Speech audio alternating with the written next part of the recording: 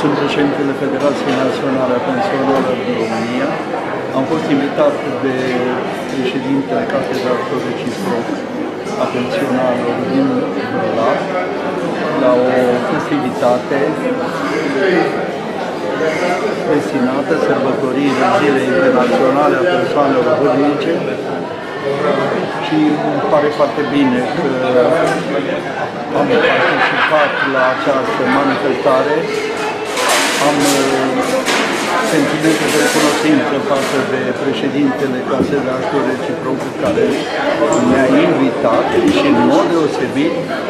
sentimente de recunoștință față de președintele Comisiei de Muncă și Protecție Socială, domnul Andrei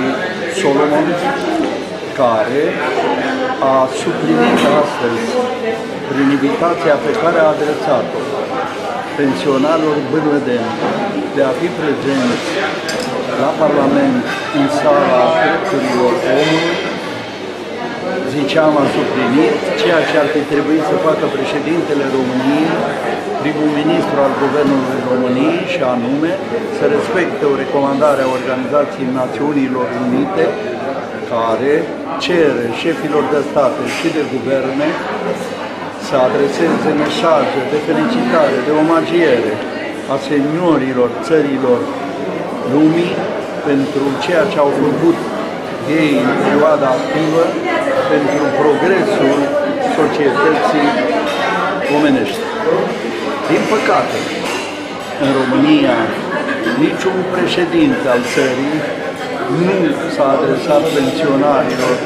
cu prilejul Zilei Internaționale a Persoanelor Vârnice, doar doi foști prim-ministri au făcut acest lucru.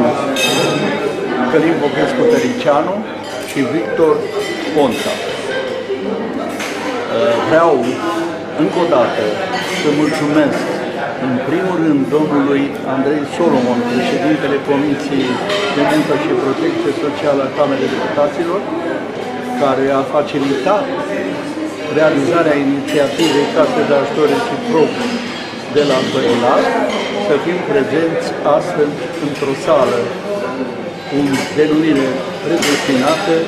drepturilor omului. Noi luptăm tocmai pentru drepturile pensionarilor români.